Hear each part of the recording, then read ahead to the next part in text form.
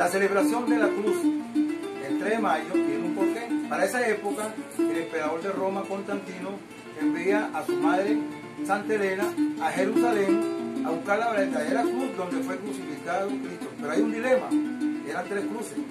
A la derecha tenemos el ladrón bueno y a la izquierda esta que es el ladrón malo. ¿Cómo saber cuál de las tres cruces era donde estaba crucificado Cristo?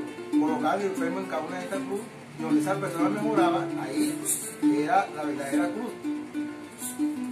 Hoy comienza el primer velorio de cruz, que es hasta el 31 de mayo a las 12 de la noche, cuando la cruz le da paso a San Juan Bautista.